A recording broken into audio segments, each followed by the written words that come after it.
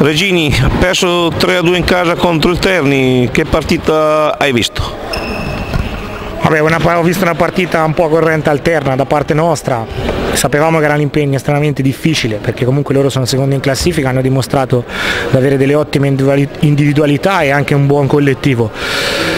Siamo riusciti a tratti a fare quello che bisognava fare, quindi mettere sotto pressione, metterli sotto pressione in battuta per riuscire a tenere il loro, il loro attacco e purtroppo a tratti non ci siamo riusciti. Il primo set siamo partiti molto contratti e e, l'ultimo set, il tie break, è stato punto a punto fino al momento decisivo, un paio di ingenuità da parte nostra, vedi un paio di battute sbagliate dopo il 10 del tie break, purtroppo sono, sono errori che non possiamo concedere a questo tipo di avversari perché dopo loro non perdonano e, e vabbè è così andata.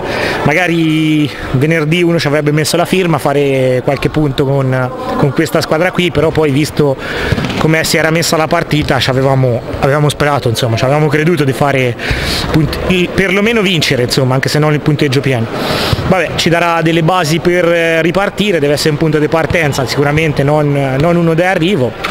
E sappiamo che possiamo competere con tutti, perlomeno in casa insomma, possiamo competere con tutti nonostante il fatto che non siamo più la squadra d'inizio anno, nonostante tante, tante lacune che ci si presentano per colpa della formazione diciamo un po' rimaneggiata. Dobbiamo crescere col gioco dei centrali senza ombra di dubbio perché stasera si è vista una netta differenza fra i nostri centri e loro e questo forse è il punto più debole che abbiamo in questo momento. Ci lavoreremo, il campionato è ancora molto lungo, siamo alla terza giornata del girone di ritorno, quindi considerato che c'è da fare quasi tutto il girone di ritorno più i playoff, c'è tanto tempo per poterci lavorare, per poter sperare di ottenere un, un posto in regular season più, migliore di quello che c'è attualmente. Insomma.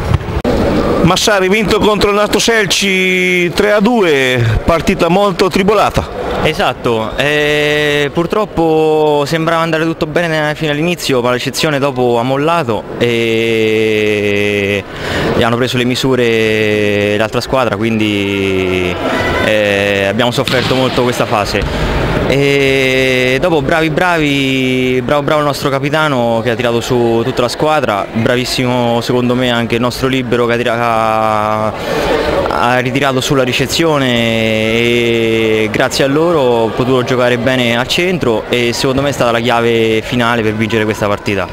E... Speravamo qualcosina di meglio, però diciamo, veniamo da due partite un po', un po così, l'andamento tenevamo un bel ritmo, dopodiché eh, tra un po' la stanchezza, un, un po' gli infortuni e altro eh, abbiamo mollato, però questo ci sono buoni segni per eh, ritornare a quel livello, insomma, ecco.